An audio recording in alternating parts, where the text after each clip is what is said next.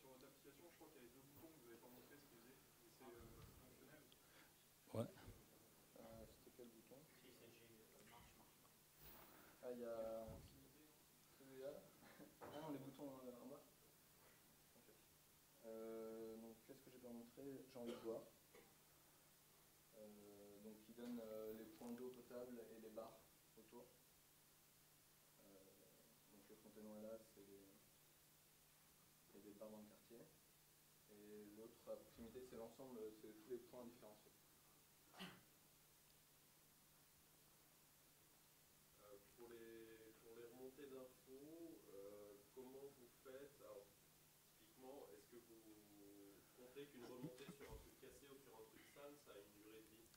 C'est-à-dire qu'a priori, un machin sale ne va pas l'être pendant Ouais. euh, deux semaines.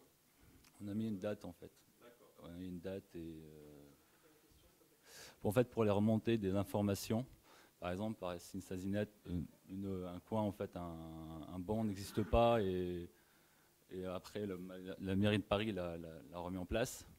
Donc, il y a une date où il y a la personne qui fait remonter l'information et après, derrière, on peut dire que derrière, si le- après le cycle, en fait, se revient derrière, on va le retrouver ou il va être supprimé carrément. Parfait. Merci. Voilà.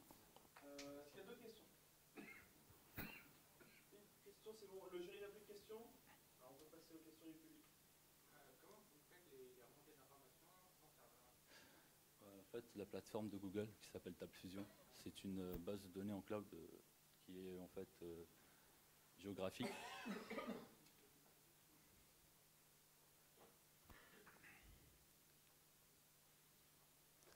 C'est bon Vous avez d'autres choses à nous dire Ah bah il y a quelqu'un qui a quelque chose.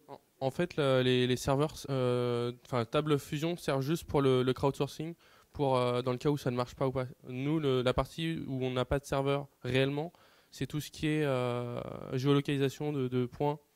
C'est-à-dire que toutes les données sont directement récupérées sur Internet et le, téléphone récupère directement ces données-là sans passer par un serveur à nous. C'est juste cette partie-là, en fait, si c'était la question.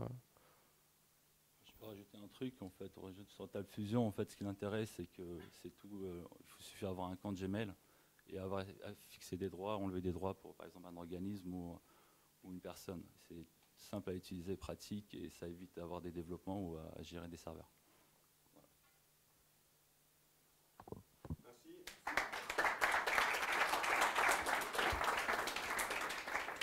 N'oubliez pas la photo et donc le projet numéro